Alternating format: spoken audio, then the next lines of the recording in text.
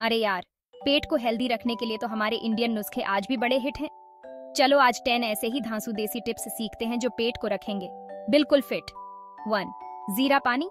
खाना खाने के बाद एक कप जीरा पानी पी लो, पाचन रहेगा एकदम मास्ट। वन, अजवाइन। थोड़ी सी अजवाइन चबाओ, गैस और एसिडिटी को बाय बाय बोलो। वन हिंग हिंग का पानी पेट की सूजन को मिनटों में भगाएगा। वन त्रिफला रात को सोने से पहले त्रिफला चूर्ण लो, सुबह पेट होगा क्लीन वन सौंफ खाना खाने के बाद सौंफ चबाना, पाचन को आसान बनाना. वन अदरक. अदरक की चाय बदहजमी को भगा देगी दूर. वन पुदीना. पुदीने का रस पेट को ठंडा और फ्रेश रखेगा.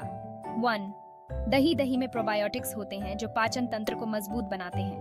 वन नींबू पानी. नींबू पानी पाचन को दुरुस्त करता है और ताजगी देता है. वन हर्ड हर्ड खाओ।